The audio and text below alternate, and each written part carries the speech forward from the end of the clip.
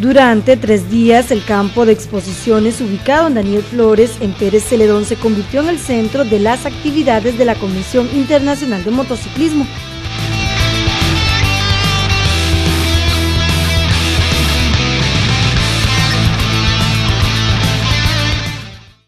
La Asociación de Caballistas del Sur asumió el reto de organizar la actividad.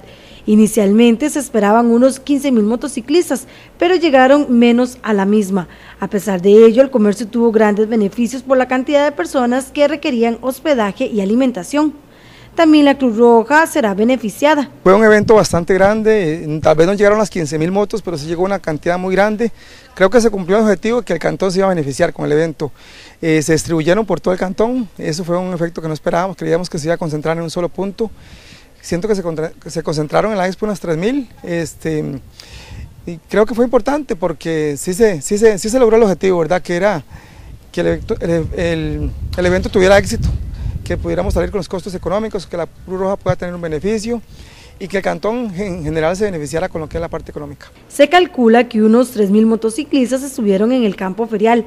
Eso sí, llegaron más personas, pues en los hoteles del cantón no había espacio. En un momento, ah, o sea, nosotros teníamos eh, información de que hace un mes todos los hoteles estaban llenos. De hecho fue algo sorprendente porque eh, un hotel que, se, se, nos había olvidado poner el número de teléfono y lo pusimos y en 15 minutos se vendieron 26 habitaciones que quedaban. Entonces sí, sí surgió ese efecto económico al cantón, en bares, restaurantes, hoteles y un montón de comercio.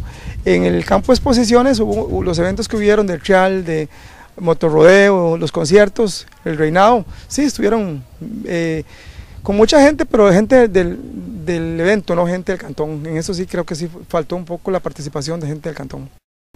Los organizadores afirman que los motociclistas se fueron contentos. Lo más importante para mí y para mis compañeros es que los visitantes de motorizados de diferentes lugares de, de diferentes países y lugares del país, de este país, este, se fueron muy contentos. Ellos hablaban de que muy lindo el lugar, de que muy bien atendidos y eso era nuestro objetivo, ¿verdad? Que ellos se fueran contentos, que, que hubiera un buen impacto eh, de satisfacción de parte de ellos haber venido acá a Pérez León. El informe de lo que generó esta actividad se hará conocer una vez que concluya la Expo Pérez Celedón. Eh, cuando demos el de la Expo al final, van, van, porque están amarrados el informe económico de la Expo y el de la Cruz Roja, porque todos los fondos entran a una sola cuenta, entonces al final tenemos que dar el informe económico de ambas partes cosas. Pero se van a ser divididos, obviamente. Obviamente por aparte, sí, pero hay unos, hay unos patrocinadores que entran a Cruz Roja y otros que entran a, a Expo, entonces sería hasta el final que ya hayan pagado todo, ¿verdad?